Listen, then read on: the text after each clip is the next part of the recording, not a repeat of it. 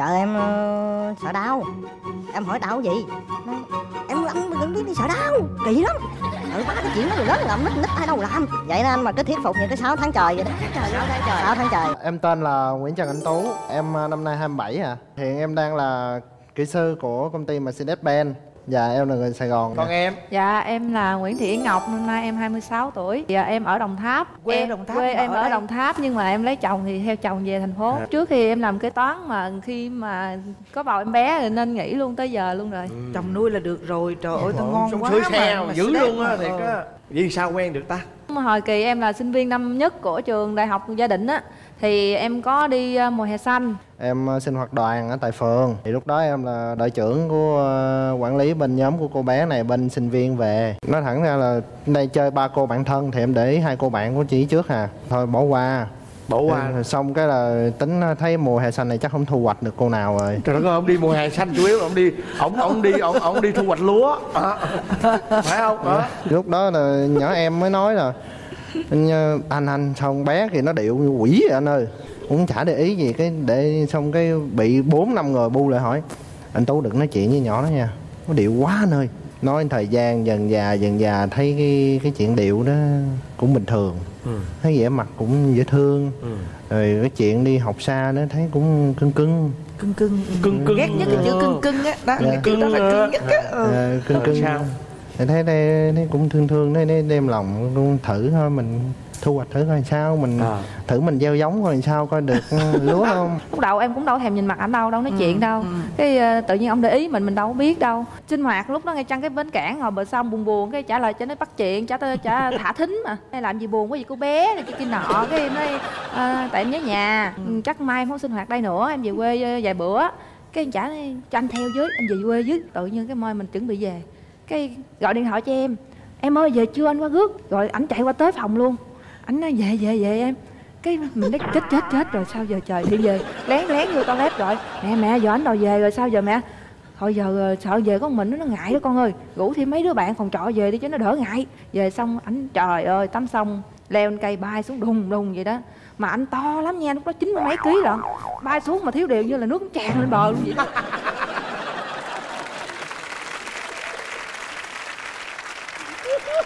Rồi sao nữa? Rồi trả theo em sao nữa?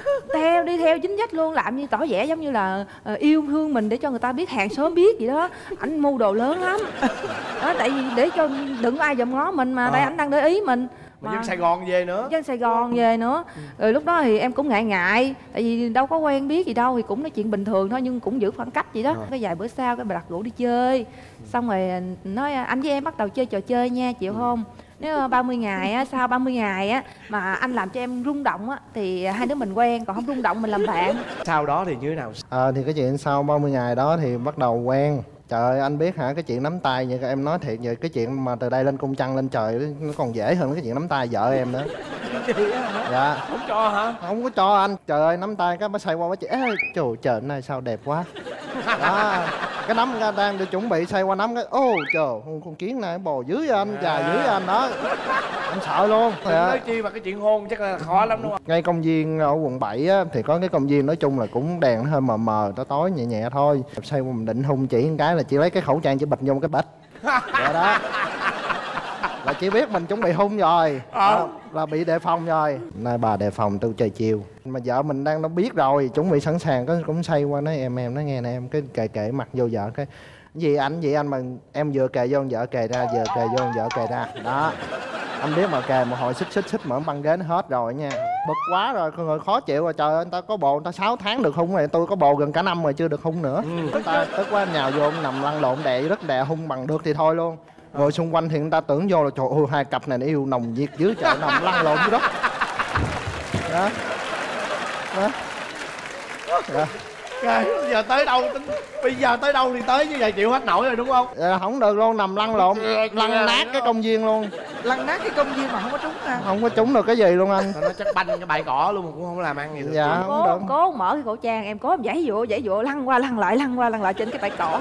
Mà vô lúc đó mình cũng vô tư đi quên mình chỉ biết mình chống cự thôi mình cũng không có để ý là mọi người có giờ mình hay không. Mà nói nghe nè dạ. trong suốt thời gian mà yêu nhau á chồng em có dụ em vô khách sạn cái Ổng dòng cái, cái máu của nó Dạ. nó bực lắm luôn rồi đó. Anh này mà đâu có vừa đâu người sài gòn nữa mà. Rồi em sợ lắm mà tại vì gái quê cũng nghe sợ bị tai tiếng này kia kia nọ cũng giữ khỏe lắm. Bữa đó đi sinh nhật của ờ, đứa bạn thân. Cái ờ, ảnh mô mô lắm. Giờ bọn ngủ đi chơi khuya lắm. Cái mình nói anh ơi trễ rồi anh không về rồi, rồi, rồi, ba mẹ gầy không?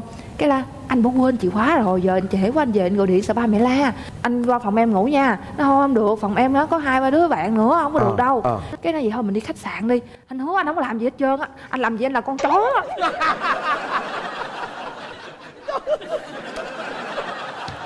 Rồi xong nữa xong tới vô khách sạn anh đập cửa cái anh nói à anh làm con chó cho em coi. Anh làm con chó cho em coi. Trời ơi trời vô vô khách sạn là làm con chó này kia em, em, em sợ em cái bỗng kiếm chuyện đi vô toilet em đi qua đi vô đi ra vô hoài vậy đó. Cái ngồi cái tự nhiên nghe cái tiếng của nhỏ bạn thân. Tự nhiên sao nó dắt bộ nó cũng vô trong đó phòng kế bên. Liều liều mình luôn qua đập cửa nó. Ê mai mai kêu đại vậy đó. Cái tự nhiên cái nó mở cửa ra thế là em qua bển em ngồi chơi luôn chơi hai đứa nói chuyện tới sáng luôn. Cái là hai ông ngồi chờ. Cái là chắc là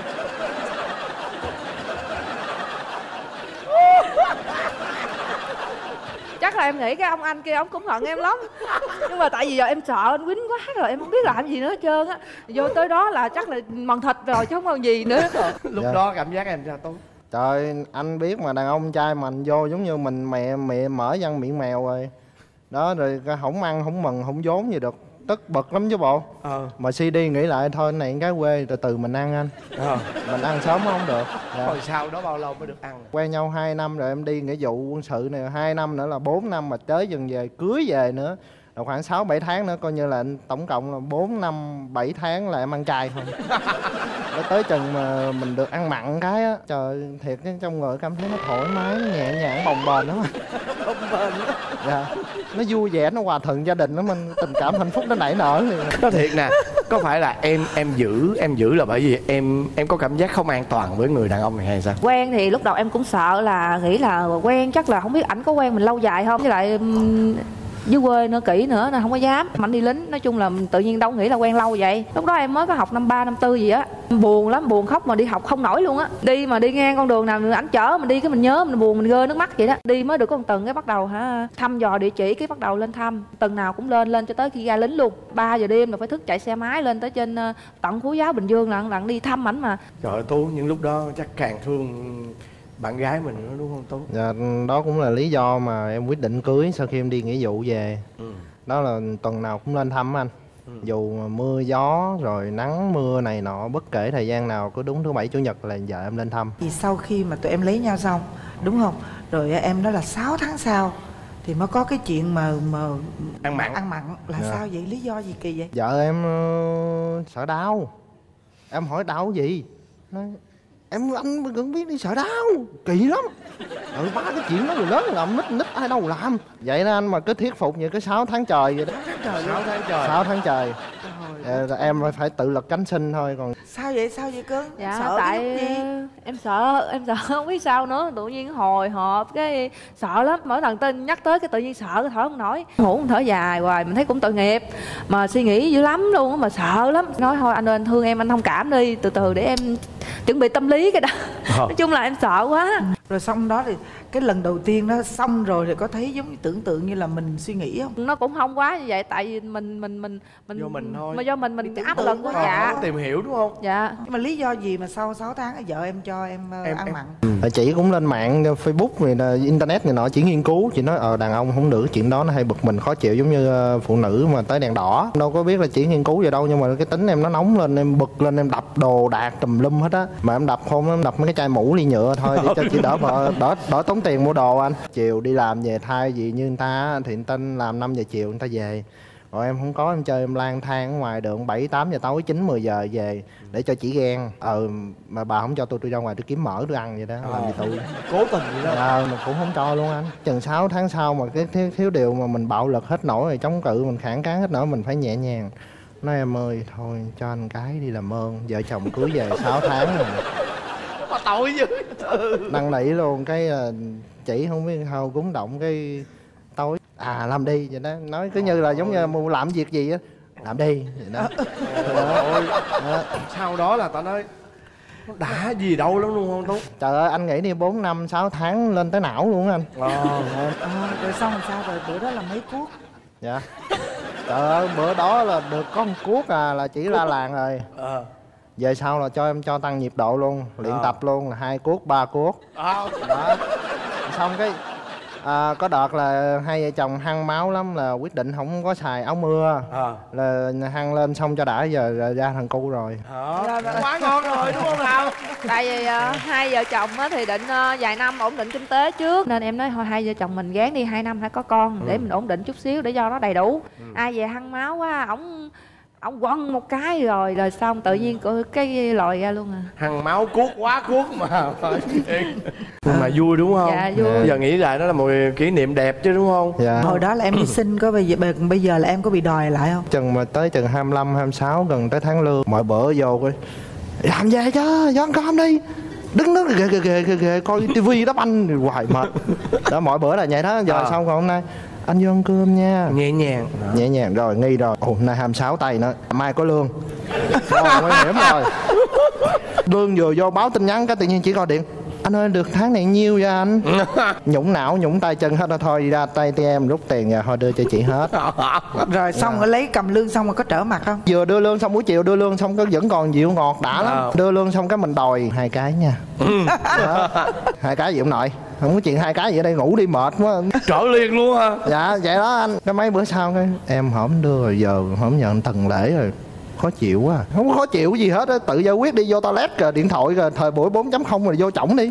Trời ơi. trai đi đó. Dạ em đâu em có kêu là trả góp chứ bộ. Đó tại vì cũng chăm con cũng nguyên một ngày. Nó thật ra là hồng công việc có nhiêu đó Nhưng mà làm hoài không có sể Cũng đuối lắm lên là mỏi mệt hết trơn. Nhiều khi lên là ngủ nào không ai chưa tắm nữa. Bây giờ à, ở với nhau thời gian như vậy thì cô ấy ngoài cái việc mà đó đó cái việc mà trả góp rồi đó thì còn còn có những tật xấu nào nữa không?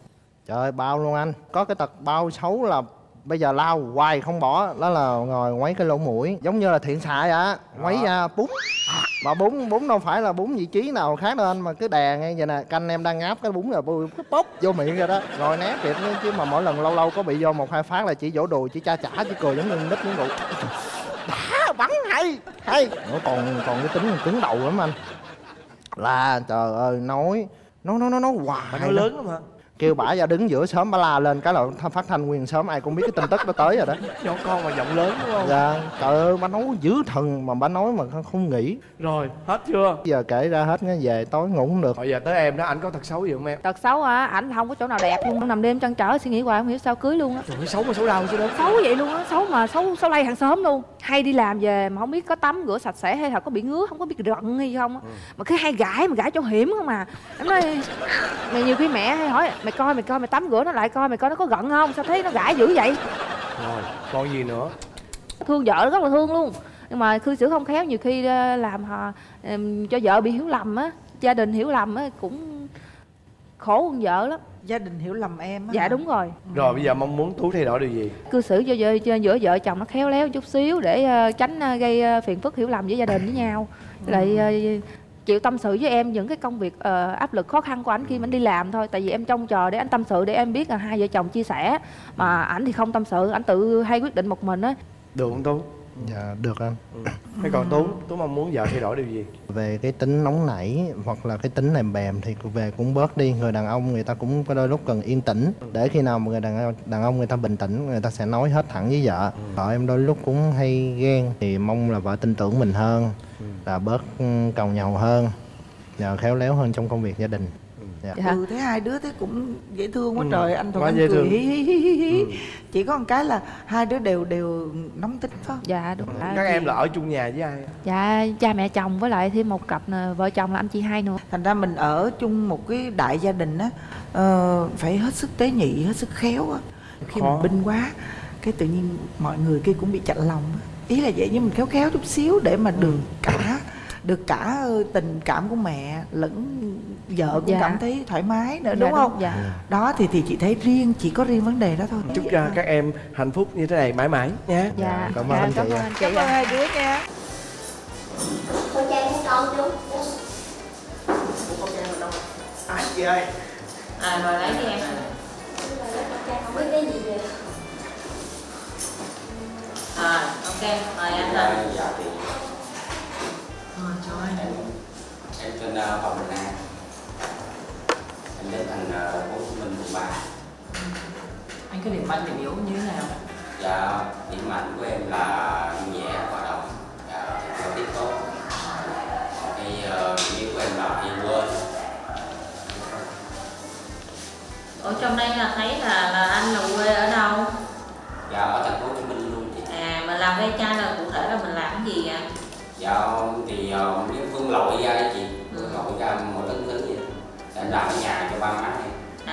ba má hả? Dạ.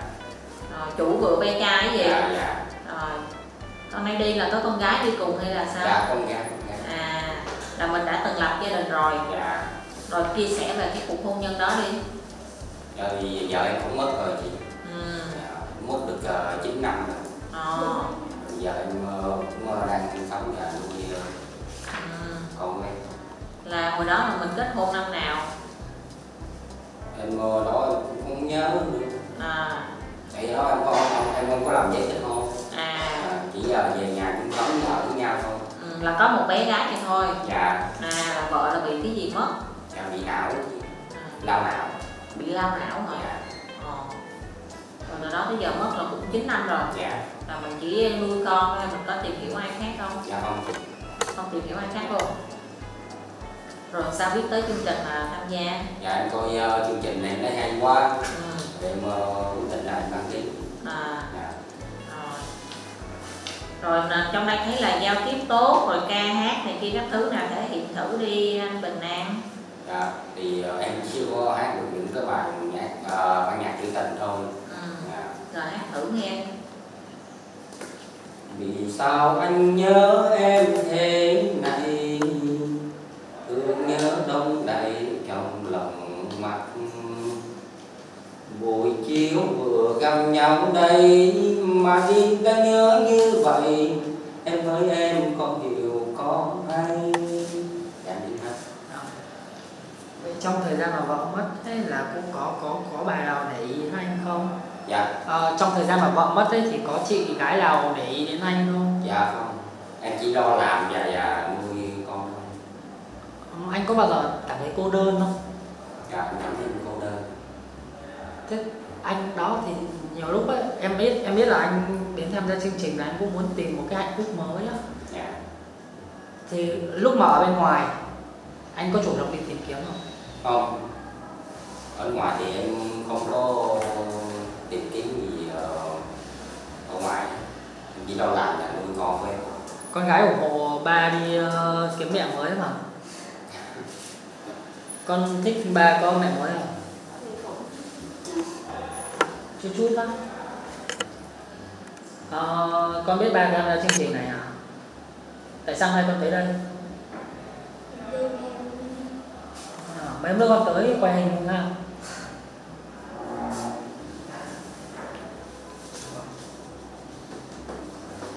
Anh ờ, anh ờ, thích ăn nhất là phở hả? dạ Anh có nấu ăn được không nuôi con thì chắc là anh dạ cơm nước này kia. em không có biết nấu ăn tại vì ở chung với lại ông bà nội nhà bà má em nấu không ngồi ngồi À, không à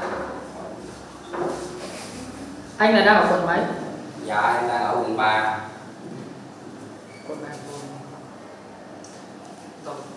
Bây giờ cái mối đối đối tượng mà anh tìm kiếm là như thế nào anh nhỉ? dạ Đối tượng tìm kiếm thì um, biết uh,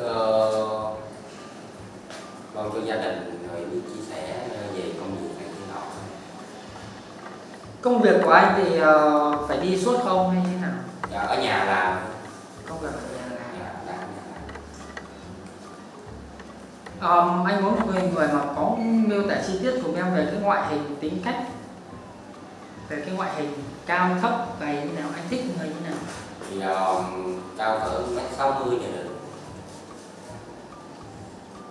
tóc tai gọn không? Ờ, tóc tai thì uh, có chọn những cái màu mà sáng quá như là màu nâu hạt dẻ cũng được rồi. Tính cách của cô đấy. Chắc thì um, có mà ghen tuông nhiều quá. Tuồng. Dạ. quê quán của cô đó. Mà quê quán cô đó ở ờ, trên thành ở thành phố Hồ Chí Minh thì càng tốt. Nhưng mà có một người ở xa xứ người ta vào đây lập nghiệp thì vùng nào? Miền trung miền bắc miền nam. Có cái vùng nào anh kỵ không? Ở huyện Phan Thiết. Em em hỏi là có cái vùng nào á ở miền trung miền bắc miền nam miền tây thì anh thích người phụ nữ miền nào? Ở miền ờ, miền Tây cũng được. Dạ, bây giờ chắc là yêu xa thì anh anh yêu đó dạ được. Nếu mà cô đấy bây giờ đang ở vĩnh long trà vinh anh sắp xếp được không? dạ được. Xong rồi về mình ngồi mình tính toán với nhau xem sống ở đâu ha. Dạ. Tuổi tác sao anh? Thì đối tác ừ, nhỏ hơn em cũng được lớn hơn em cũng được. Mấy tuổi? Lớn hơn anh khoảng mấy tuổi? Lớn hơn em thì tầm cỡ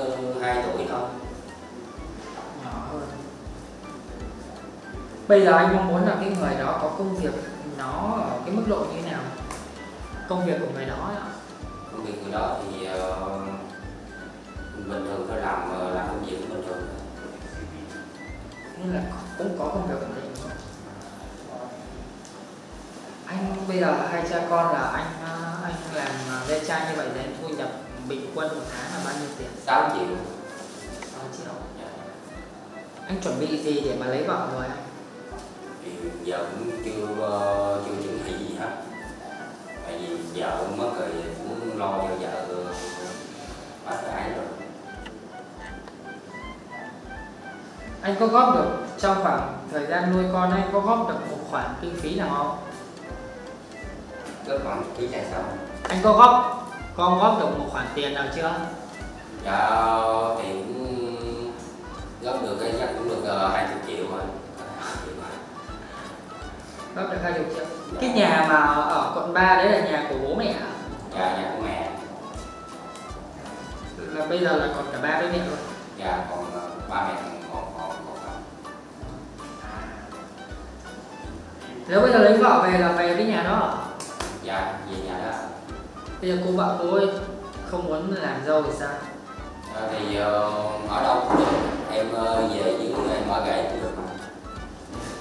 Bé đi đâu dạ. Bé thì ở trên này với ông bà lục dạ bé thì ờ, nếu mà nó muốn đi theo em thì nó đi. Còn nếu mà nó không muốn đi theo em thì nó ở với mạo dạ rồi ở để được luôn ha.